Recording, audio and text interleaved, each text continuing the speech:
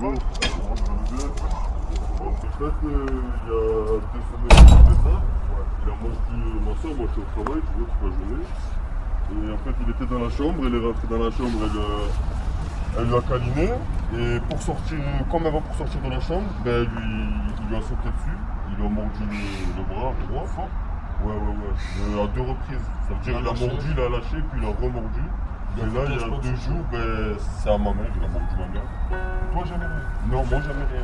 Mais qu'est-ce que tu veux faire là Mais moi, je vais essayer de. Tu de garder Ah oui, non, moi, je veux le garder, mais je veux comprendre c'est pourquoi il est comme ça.